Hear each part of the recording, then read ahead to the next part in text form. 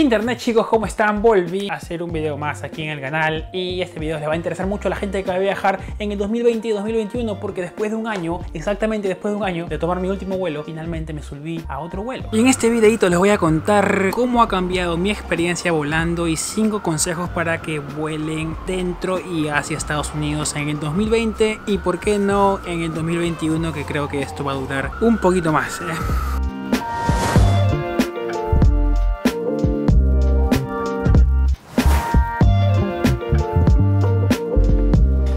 Octubre, hace casi un año fue mi último vuelo, mi última vez en un aeropuerto. Y el día de hoy vamos a volar. Nos estamos yendo a California y pues les voy a contar un poco de la experiencia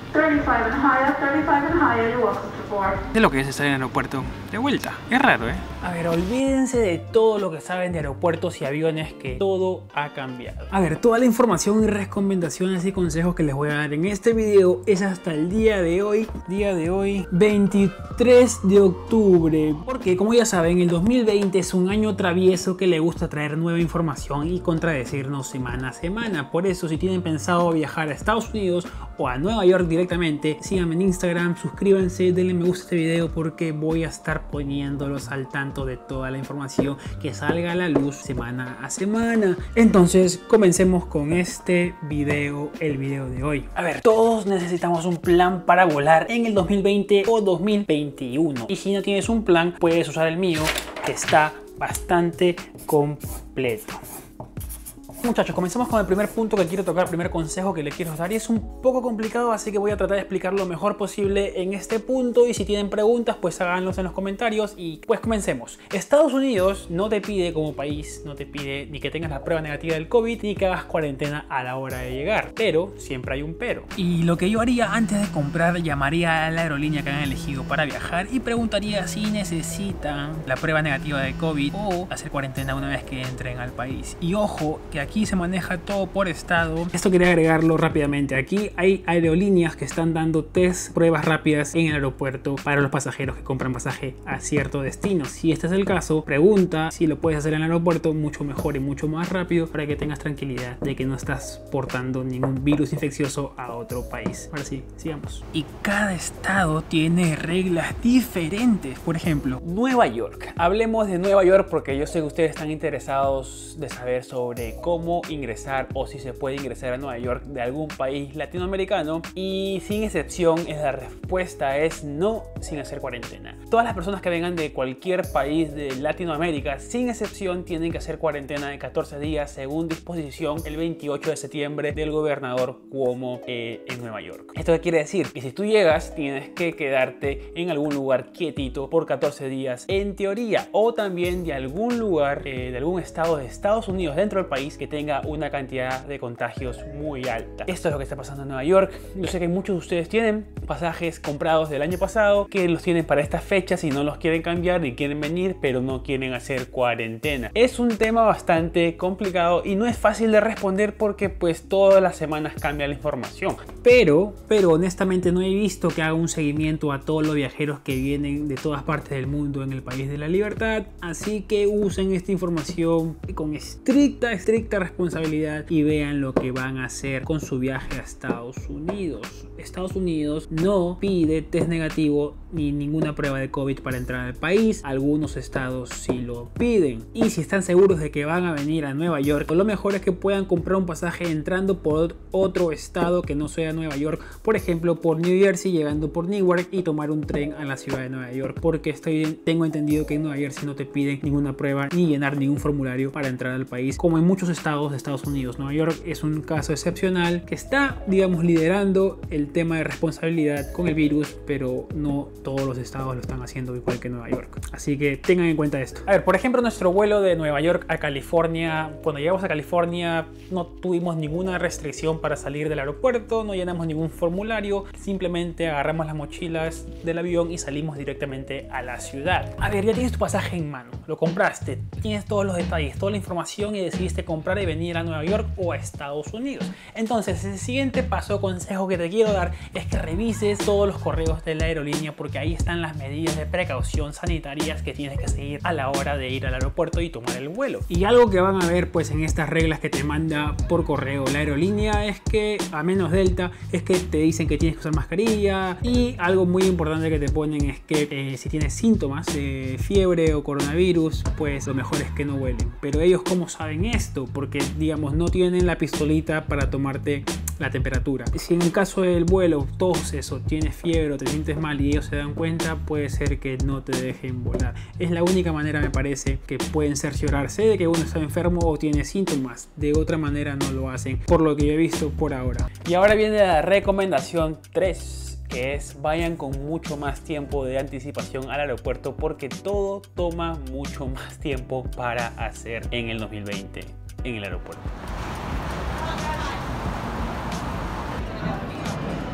Hay muchísima gente y lo que sí no nos, dan, no nos dimos cuenta es que estamos parados esperando a que Megan le revisen su mochila, que todo se demora mucho más por el tema del distanciamiento social y no esperábamos ver tanta gente en el aeropuerto. ¿eh? Yo pensaba decir en el video, oh, increíble, es un aeropuerto que está vacío, desierto, pero parecía un día de lo más normal. Así como hay menos gente en los aeropuertos, hay mucho menos personal trabajando. Por el distanciamiento, las escuelas son más largas y se hace muy larga la espera a la hora de pasar por seguridad y tienen que estar listos para pasar por la seguridad también. Tienen una laptop, sacar la computadora afuera de la mochila, ponerle una batea, tener los zapatos listos para pasar. Es importante no tener líquidos más de 100 mililitros para que en caso que estén tarde pasen rápido. Me pareció gracioso porque yo tengo muchas más cosas en mi mochila que Megan. Tengo más tecnología, más cámaras, hasta un dron y a mí no me pararon. A Megan las pararon que tienen puro libros. ¿no? ¿Qué te revisaron?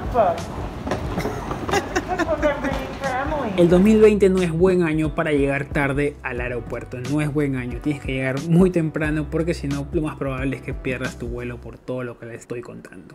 Y algo más, eh, vayan bien comidos, desayunados, almorzados, cenados al aeropuerto porque pues por el tema de la pandemia, por ahora este año lo que he visto es que muchos negocios han cerrado el aeropuerto y los negocios que están abiertos hay colas gigantescas. No sé si esto pasa en todos los aeropuertos, pero al menos en Nueva York y en Los Ángeles vi muchas colas para comprar comida, café o lo que sea en la mañana y en la tarde. Y esta es mi recomendación 4, que, es lo que les espera en el vuelo, van a tener que estar con mascarilla todo el tiempo, va a ser un poquito complicado, pero tienen que estar con mascarilla todo el tiempo.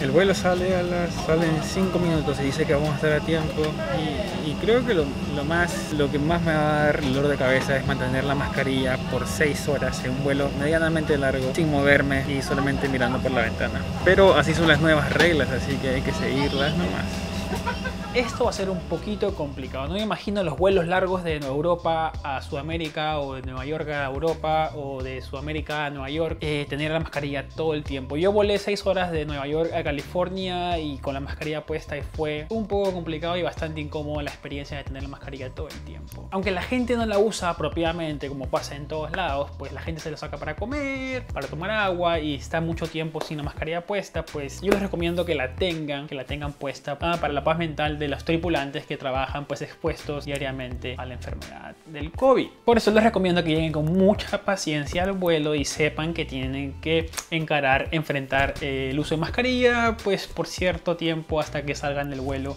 para que todo el mundo tenga pues armonía y no sean esas personas que lo sacan del vuelo a rastrones por no usar mascarilla y salgan en noticias porque ha pasado muchísimo aquí en Estados Unidos por el tema de la gente que no cree en la mascarilla. Bueno, pues son políticas de las empresas que son privadas y tienes que cumplirlas si quieres volar. Tengan en cuenta esto, por favor. Este es mi consejo 5 y es uno de los más difíciles en la historia de los vuelos internacionales y nacionales. Es que se queden tranquilos, quietitos a la hora de que el vuelo llegue a su destino y salgan en orden y mantengan eh, el distanciamiento social. Inténtenlo, sé que es difícil, no es imposible, al menos en pandemia. Vamos, no sé qué decirles la verdad porque...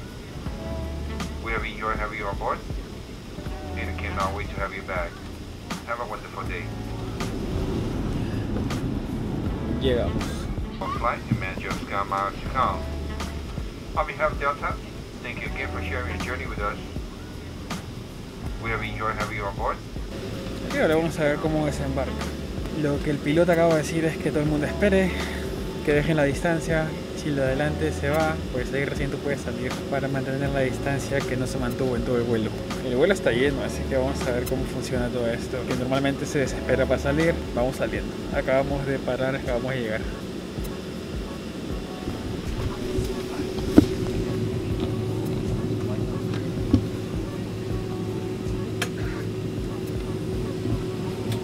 Mira Megan, la cosa que dijeron que esperen hasta que todos comiencen a avanzar, nadie hace caso.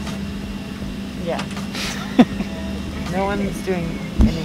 Sé que muy poca gente cumple esto, pero al menos en pandemia, cuando hay un virus rondando el ambiente, pues manténganse en su sitio organizadamente, con orden hasta el final del vuelo. Incluso en pandemia, no mucha gente lo cumple, al menos en mi vuelo, eso fue lo que vi. Pero ustedes, ustedes tengan paciencia, esperen, mantengan la distancia y recién salgan cuando de adelante o los de adelante comiencen a avanzar. Es algo muy simple que te va a tomar un, dos minutos, pero pues no tomes el riesgo innecesario de salir corriendo pegadito al de adelante. Mantén tu distancia, espera, paciente. Hay que aprender a respetar las normas, al menos al salir del avión. A ver, ¿y ahora qué? Sales del vuelo, sales del vuelo tranquilamente y vas a tener que pasar por migraciones como siempre, pues vas a tener que esperar tu maleta como siempre. En algunos casos, como en el caso de Nueva York, y ya casi viene la complicación, esto va a depender pues el tema de su viaje. Estados como Nueva York te pide que hagas cuarentena por 14 días, ya se lo dije anteriormente, y tienen que llenar un formulario de salud al llegar al estado de Nueva York. No muchos estados lo piden, honestamente, yo sé que Nueva York te lo pide. Lo puedes hacer online antes de llegar, le voy a dejar la descripción, le voy a dejar el enlace y también ahí están, en ese enlace están las recomendaciones para que hagan la cuarentena de 14 días si llegan de un país con casos activos muy altos, digamos.